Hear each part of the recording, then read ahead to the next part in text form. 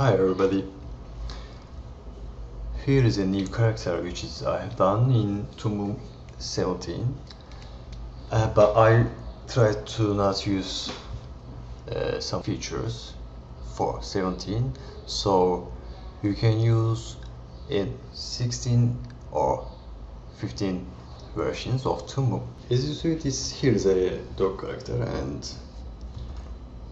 I've done all poses here you'll have actual poses when you get the three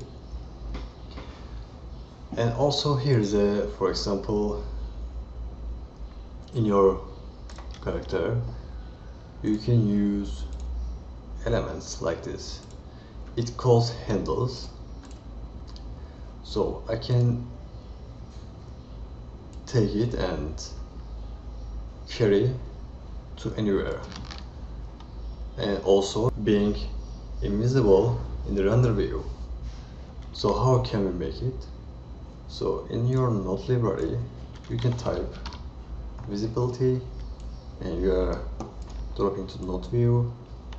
And with your element is connected right now.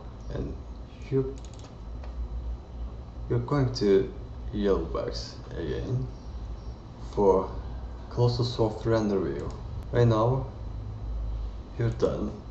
And when you see in the render view there is no line anymore.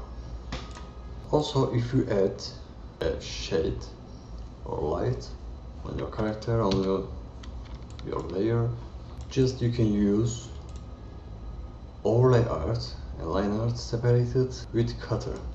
Line art will cut the overlay and that's why I'm taking the cutter here.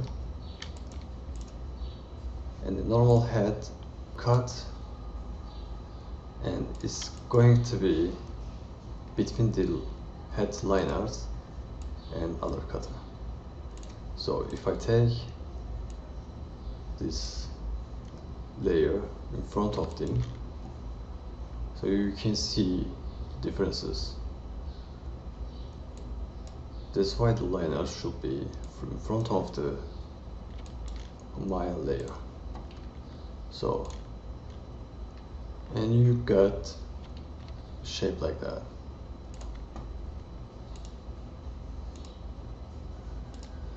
You can change the texture. You can change the place of art layer. You can take it wherever you want. You can change the sh shape of this drawing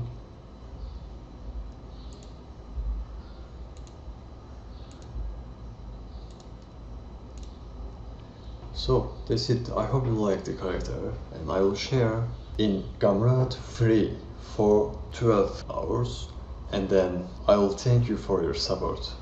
Thank you for watching this and see you later.